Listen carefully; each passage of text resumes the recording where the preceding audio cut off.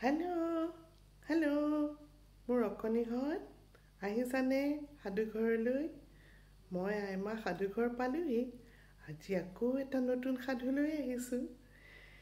আজি এটা সৰু অকণমানি চৰাইৰ কাহিনী ক'ম দেই। সৰু অকণমানি চৰাইটোৰ নাম robin red breast robin red breast robin red ব্ৰেষ্টটো বৰ অকণমানি মৰম লগা এটা চৰাই। আৰু তাৰ মাতটো কিমান ধুনীয়া। সি বৰ ধুনীয়াকৈ গান গাব জানে। তাৰ গান শুনিলে চব ৰৈ যায়।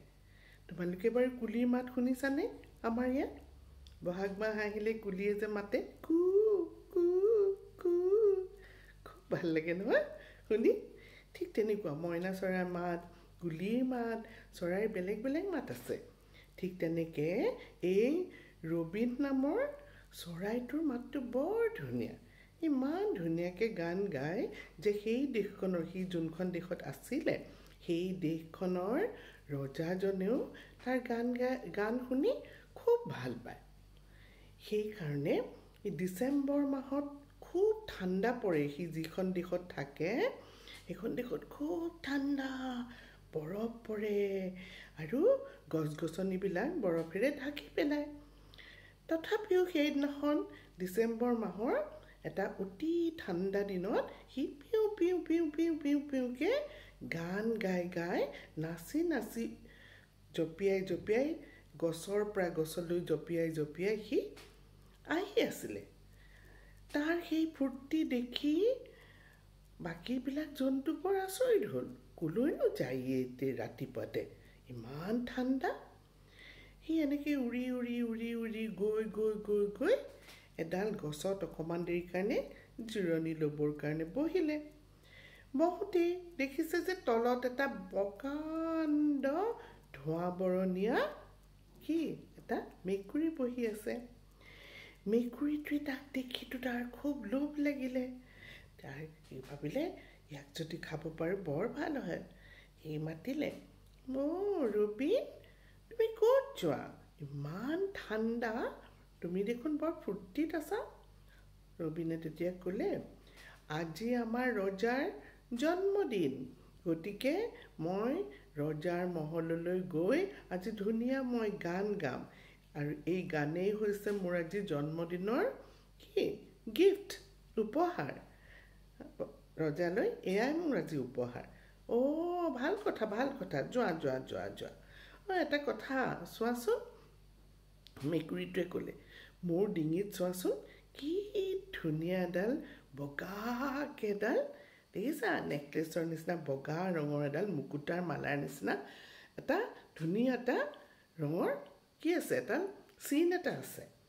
তুমি এই অঞ্চলৰ কোনো মেকুৰীৰ গাতে এনেকুৱা ধৰণৰ ডিঙিত এনেকুৱা ধৰণৰ তুমি বগা আঁচ নেদেখা।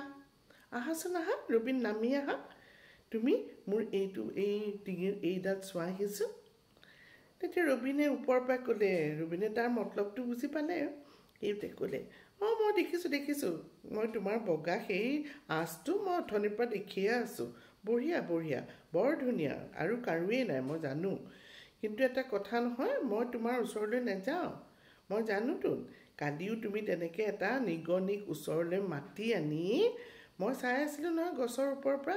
তুমি সেই নিগনিটোক আহা আহা মোৰ এডাল এইটো চা চোৱাহি বুলি কৈ পেলাই তুমি মাতি নি খাই পেলাই পেলোৱা নাছিলা জানো? অঁ তেতিয়া ই বুজিলে অ' ই বৰ বৰ চালাক। ঠিক আছে তুমি তাতে বহি থাকা তুমি মই মোৰ কাম কৰোঁ তুমি তোমাৰ কাম কৰা। সেই বুলি কৈ পেলাই সি আকৌ উৰি উৰি উৰি উৰি উৰি উৰি আকৌ বহুত দূৰলৈ গৈ পেলাই আকৌ জিৰালে। এইবাৰ সি নদী এখনৰ পাৰত এটা শিলৰ ওপৰত বহি পেলাই জিৰণি ল'ব খুজিলে। দূৰত দেখিছে সেই একেটা শিলৰে প্ৰকাণ্ড শিলটোৰ এটা মূৰত এজনী চিলনী বহি আছে। চিলনীজনীয়ে ৰবিনক দেখি তাইৰ খুব লোভ লাগিলে।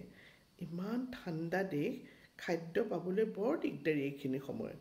যেতিয়া বৰফ পৰে খাদ্যবিলাক লুকাই যায় বৰফৰ তলত থাকে।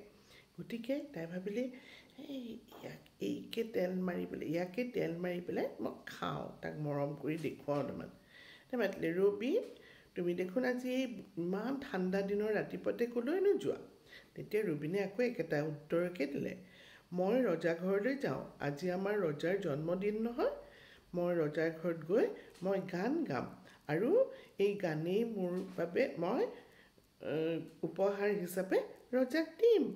অঁ চিলনী ক'লে বৰ ভাল কথা বৰ ভাল কথা।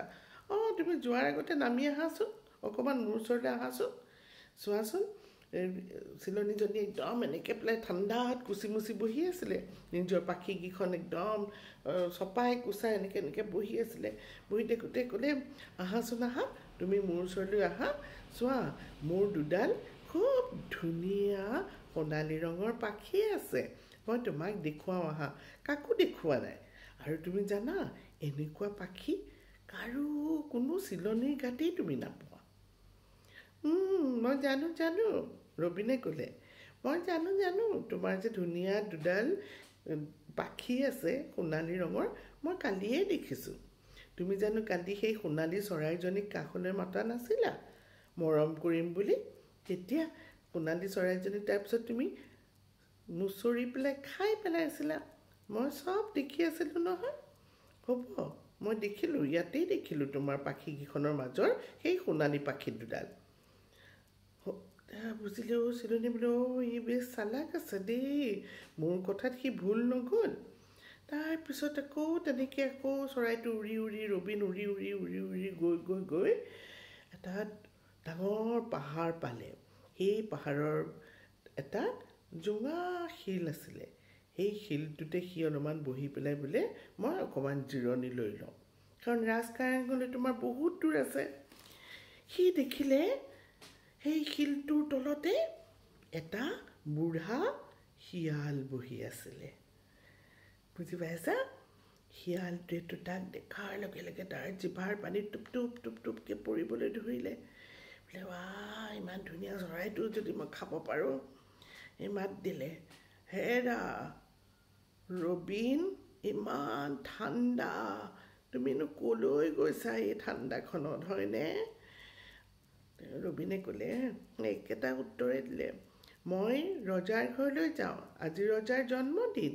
মই ৰজাক গৈ ধুনীয়া গান শুনাম আৰু উপহাৰ হিচাপে মোৰ গানেই মই ৰজাক দিম। ৰজাই মোৰ গান শুনি খুব ভাল পায়। তেতিয়া বুঢ়া শিয়ালটোৱে ক'লে অঁ মই জানো তুমি বৰ ধুনীয়া গান গোৱা আৰু আমাৰ ৰজাই যে তোমাৰ গান শুনি খুব ভাল পায় সেইটোও মই জানো। এটা কথা যোৱাৰ আগতে আহাচোন মোৰ ওচৰলৈ অকণমান। মই তোমাক মৰমো কৰোঁ আৰু চোৱাচোন চোৱা মোৰ এই ক'লা নেজডালৰ ওপৰত এটা বগা এটা চিন আছে। দেখিছানে? কিমান ধুনীয়া এই চিনটো এই বগা নেজডালত থকা এই ক'লা নেজডালত থকা বগা চিনটোৰ কাৰণেই মোক চবেই বেলেগ ধৰণে চায়। কাৰণ কোনো শিয়ালৰে ক'লা নেজত এনেকুৱা বগা চিন নাই। আহা তুমি মোৰ ওচৰলৈ আহাচোন মই তোমাক দেখুৱাওঁ চাই যোৱাহি। এতিয়া ই ক'লে ৰবীনে ক'লে হ'ব হ'ব মই ইয়াৰ পৰাই দেখিছোঁ তোমাৰ সেই বগা চিনটো ভালেই দেখিছে তোমাক বৰ ধুনীয়া দেখিছে। তুমি বেলেগবিলাক শিয়ালতকৈ সঁচাকৈয়ে বেলেগ। কিন্তু এটা কথা নহয় তুমি যে মোক ওচৰলৈ মাতিছা মইতো কালি দেখিছোঁ তুমি কি এটা ডাঙৰ এন্দুৰ তুমি ওচৰলৈ মাতি কেনেকৈ তুমি মকৰ মকৰকৈ খাইছিলা? মইতো সেইটো দেখি আছোঁ। গতিকে তোমাৰ মৰম মই গম পাইছোঁ। গতিকে মই নাযাওঁ দেই তোমাৰ ওচৰলৈ তুমি তোমাৰ ভাগে থাকা আৰু মই মোৰ ভাগে থাকোঁ। মই যাওঁ এতিয়া ৰজাৰ ঘৰলৈ। আকৌ তেনেকৈ উৰি উৰি উৰি উৰি উৰি উৰি গৈ পেলাই এখন ডাঙৰ এখন কি পালে? পথাৰ পালে। ধুনীয়া ঘাঁহৰ পথাৰ। সেই ঘাঁহৰ পথাৰতে বহি এটা সৰু ল'ৰাই কি খাই আছিলে? তোমাৰ ব্ৰেড আৰু বাটাৰ খাই আছিলে। ব্ৰেড আৰু বাটাৰ মৰক মৰককৈ খাই আছে খাই থাকোঁতে দেখিলে দূৰত এই ৰবীন বহি আছে। তেখেতে অঁ ধুনীয়া চৰাইজনী। তুমি এই ঠাণ্ডাখনত ক'লৈ যাবলৈ ওলাইছা? তেতিয়া ৰবীনে ক'লে মই ৰজাৰ ঘৰলৈ যাওঁ। মই আজি ৰজাৰ জন্মদিনত গান গামগৈ। ৰজাই মোৰ গান শুনি খুব ভাল পায় নহয় আৰু মই উপহাৰ হিচাপে ৰজাক কি দিম? মোৰ গান উপহাৰ দিম। মই ধুনীয়া ধুনীয়া গান গাওঁ। ৰজাই বৰ আনন্দ পাব। অ' হয় নেকি? অঁ তুমি বৰ ভাল গান গোৱা। আমিও শুনো তোমাৰ গান। আহাচোন আহা মই এই ব্ৰেড খাইছোঁ বাট বাটাৰৰ লগত। জেমো লগাই লৈছোঁ। আহা তুমিও অকণমান খাবা আমাৰ মোৰ লগতে। এইবিলাক চোৱা এইখিনি এনেকৈ এনেকৈ অলপ অলপ ব্ৰেড ছিঙি ছিঙি পেলাই দিছে।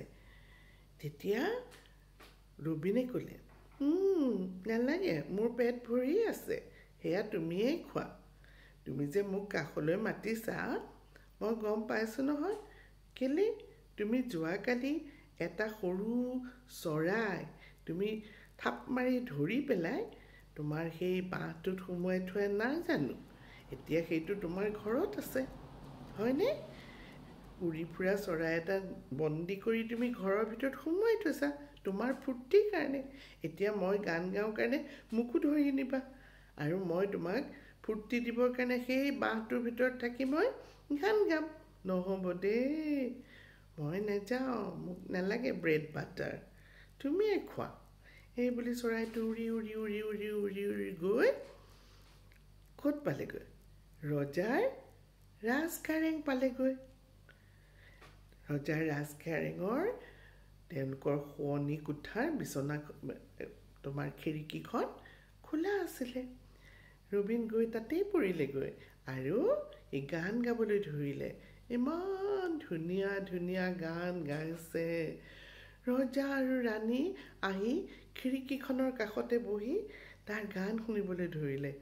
বহুত দেৰি সি গানকে গালে গানকে গালে। তেতিয়া ৰজাই ক'লে ইছ ইমান দূৰৰ পৰা উৰি উৰি উৰি উৰি অকল মোৰ কাৰণেই আজি ইয়ালৈ আহিছে। আমি তাক কি দিয়া উচিত। আমি তাক এটা ভাল গিফ্ট আমি দিওঁ দিয়া। কি দিম বাৰু তাক গিফ্ট এটা? বাকী বস্তুৰেতো তাক দি পেলাই লাভ নাই। তাক কি দিম বাৰু? খোৱা বস্তুটো দিছোঁৱেই খাবলৈ। কিন্তু তাৰ উপৰিওতো আমি বস্তু দিব লাগিছিলে তাক। কি দিওঁ? তেতিয়া ৰাণীয়ে ক'লে কেলে? আমাৰ ঘৰত যে সৰু অকণমানি কি জেমি নামৰ ধুনীয়া চৰাইটো আছে। সেইটো চৰাইৰ লগতে ইয়াক বিয়াখন পাতি দিওঁ। ৰবীনৰ এখন তাহাঁতৰ সংসাৰ হওক হা? তাৰপিছত তাহাঁত দুটা সুখেৰে থাকিব পাৰিব। ৰজাই ভাবিলে অ' ৰাণীয়ে দেখোন বৰ ভাল কথা কৈছে। ৰাণীক প্ৰশংসা কৰিলে। ৰাণী ৰাণী তুমি বৰ ধুনীয়া কথা ক'লা। মই এই কথাটো ভাবিবই পৰা নাছিলোঁ। ঠিক আছে তেতিয়া ৰবীনক ক'লে আহা ৰবীন ভিতৰলৈ সোমাই আহা। ৰবীন ৰেড ব্ৰেষ্ট ভিতৰলৈ সোমাই আহিলে আৰু জেমিৰ লগত ধুমধামেৰে খোৱা বস্তু ভৰ্তি হৈ থাকিলে নাচ গান এইবিলাক কৰি মানুহ মাতি গোটেই ৰাজকাৰেঙৰ মানুহ আহি কি কৰিলে? ৰবিন ৰেড ব্ৰেষ্ট আৰু তোমাৰ জেমিৰ বিয়াখন পাতি দিলে। তাৰপিছত তাহাঁত দুটা আনন্দ মনেৰে দুয়োটা উৰি উৰি উৰি উৰি উৰি উৰি উৰি উৰি উৰি উৰি নিজৰ ঘৰ পালেগৈ। নিজৰ ঘৰ মানে গছডাল পালেগৈ। যিডাল গছত ৰবিন সদায় থাকে। এইবাৰ জেমি যোৱাৰ কাৰণে ৰবিনে ধুনীয়া ধুনীয়া বস্তু গোটাই এটা ধুনীয়া বাঁহ সাজিলে। চৰাইৰ ঘৰক কি বুলি কয়? বাঁহ বুলি কয় ন? এই চৰাই ঘৰ এটা সাজিলে ধুনীয়াকৈ। তাতে দুয়োটাই আনন্দ মনেৰে থাকিলে। আৰু জেমিয়ে কি কৰে? ভাত পানী ৰান্ধে। তাৰপিছত তাহাঁতি জেমিয়ে কণী পাৰিলে আৰু সেই কণীবিলাক উমনি দি তাহাঁতৰ সৰু সৰু পোৱালি হ'ল। আৰু তাৰপিছত তাহাঁতি খুব মজা আছে আনন্দ মনেৰে দিন কটাবলৈ ধৰিলে। কেনেকুৱা লাগিলে সাধুটো শুনি? এইটো কি সাধু জানা? এইটো এটা স্কটিছ সাধু। এইখন চোৱা স্কটলেণ্ডৰ সাধু। স্কটলেণ্ডৰ নাম শুনিছানে? পৃথিৱীৰ নানানখন দেশ আছে আৰু চব দেশৰে ল'ৰা ছোৱালীবিলাকে এনেকুৱা এনেকুৱা সৰু সৰু গল্প শুনি সাধু শুনি বা গল্প শুনি তোমালোকৰ নিচিনা খুব আনন্দ পায়। আৰু সেইকাৰণে প্ৰতিখন দেশৰে নিজৰ নিজৰ সাধু আছে। মই তেনেকৈ তোমালোকলৈ বেলেগ বেলেগ বেলেগ বেলেগ দেশৰ সাধু লৈ আহিম দেই। ভাল পালানে বাৰু সাধুটো শুনি? কেনেকুৱা পালা মোক জনাবা দেই। মাহঁতক ক'বা মোৰ চেনেলটো যদি ভাল পাইছা সাধু শুনি ভাল পাইছা এইটো বেলটো টিপি দিবা ছাবস্ক্ৰাইব কৰি দিবা তেতিয়া গম পাবা যে মই সদায় আহি আছোঁ সাধু ক'বলৈ। ঠিক আছে তেনেহ'লে। মোৰ মৰমৰ অকণিহঁত তোমালোক ভালে থাকা। সদায় সাধু শুনিবা। মই এটা এটা সাধু সদায় কৈ যাম। কোনটো ভাল পালা কোনটো বেয়া পালা কমেণ্টত লিখিবা দেই। ভালে থাকা আৰু সাৱধানে থাকা। ঘৰৰ ভিতৰতে থাকা। আনন্দ কৰি থাকা। মোৰ চুমাল দিলোঁ দেই। Bye bye. Bye bye. মই আৰু সাধু আনিম। Bye bye.